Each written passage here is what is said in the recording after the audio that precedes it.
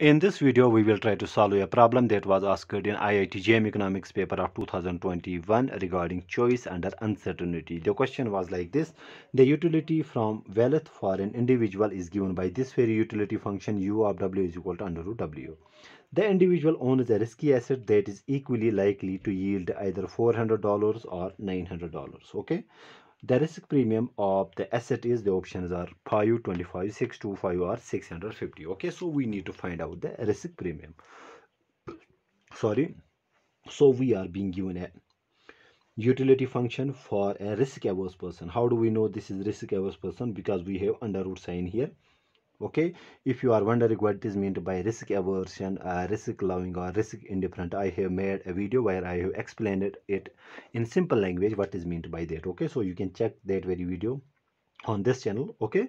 So this person is uh, uh, having a risky asset. That is equally likely to yield either $400 or $900 okay? So either he gets $400 or $900 and probability of getting $400 is one half that means 50% chances that he will get $400 and 50% chances that he gets $900 how do I came out to be mm, uh, with the number one half and one half simple thing. We are being told that both the outcomes are equally likely. Two outcomes are said to be equally likely. If each outcome has same probability of occurring okay so either he gets 400 with 50 percent chance or 900 dollars with 50 percent chance okay so these are equally likely okay. So first we need to find out the expected value of the gamble expected monetary benefit from this gamble. Obviously he is facing the gamble here okay what is the expected value? Simply when we multiply each outcome with its associated probability and sum them out we get the expected value. That means one half into 400 plus one half into 900 which came out to be 200 plus 450 that means expected value of the gamble has came out to be 650 okay? So expected value that means the utility from 650 sorry we got the expected value here 650 and what is the utility of this expected value?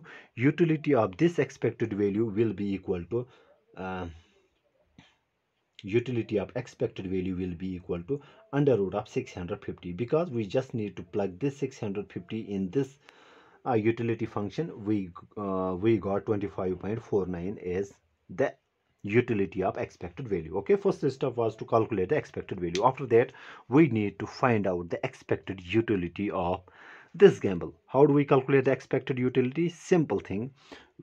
One uh, we simply multiply each outcome. And of course we use here utility.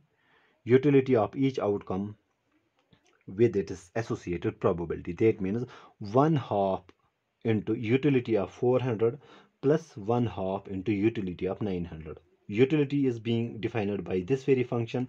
So uh, utility of 400 means uh, under root 400 similarly utility of 900 means under root of 900 okay?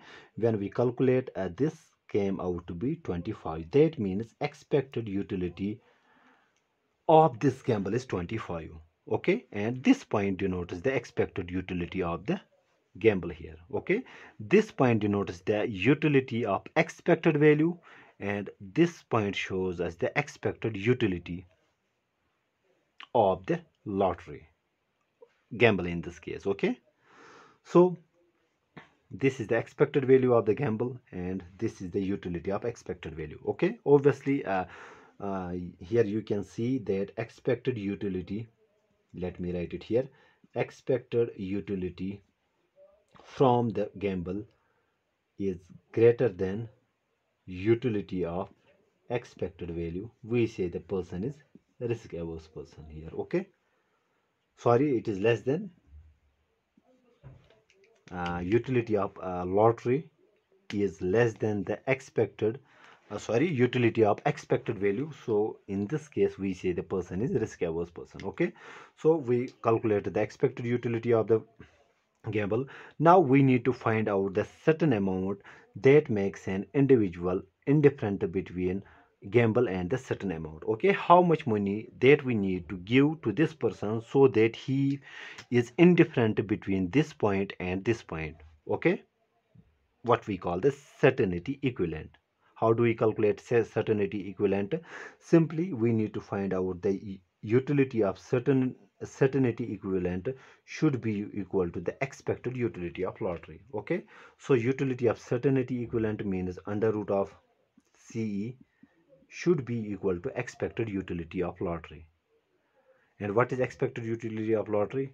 We got it here 25 under root c is equal to 25 when we transpose this under root it becomes square here. So this came out to be 625 that means if we give that very individual $625 he will be indifferent between uh, the expected what we call he will be indifferent between uh, the gamble this point and the certain amount. Okay? So certainty equivalent is simply a certainty equivalent of a risky gamble is the amount of money for which an individual is indifferent between a gamble and certain certain amount. Or we also say that certainty equivalent is the amount of sure cash that would make an individual indifferent between certain amount okay certain amount and the lottery okay. So we calculate the certainty equivalent. It came out to be 625 risk premium is simply equal to the expected value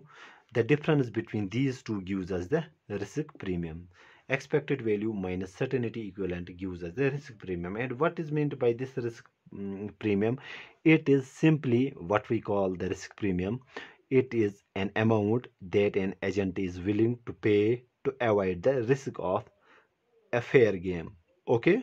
So the amount of money that the person is ready to forego in order to be indifferent between the what we call uh, sorry to avoid the risk of a fair gamble.